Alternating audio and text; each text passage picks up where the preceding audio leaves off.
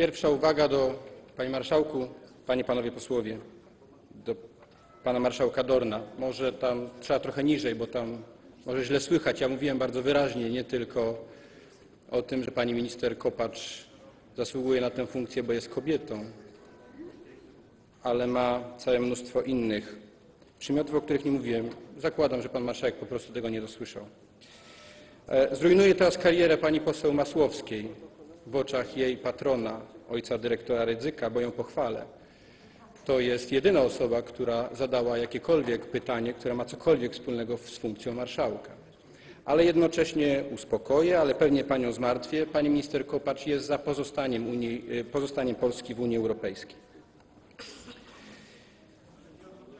I ostatnia, ostatnia rzecz. Powiem się, przyznam się Państwu zupełnie szczerze do pewnej takiej naiwności osobistej.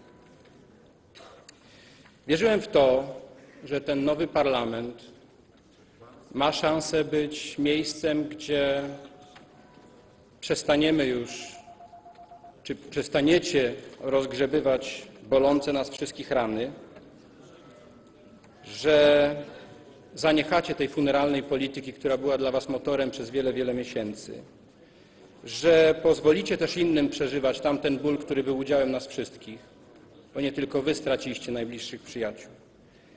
Cała Polska widziała Ewę Kopacz, jak jechała do Moskwy, by pomagać bliskim ofiar. Cała Polska widziała Ewę Kopacz, jak osobiście, wtedy, kiedy wielu nie starczało siły, to zrozumiałe, ale jej starczało siły i odwagi, żeby wchodzić tam, gdzie wielu nie starczało siły, żeby wchodzić, żeby zobaczyć naszych często najbliższych przyjaciół, żeby pomóc rodzinom w identyfikacji. A przecież spotykała tam też swoich najbliższych przyjaciół.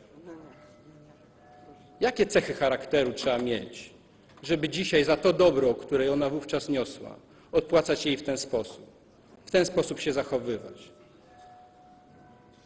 Proszę Was, nie żerujcie więcej na tej tragedii. Pozwólcie odejść zmarłym i pozwólcie żyć żywym. Dziękuję bardzo.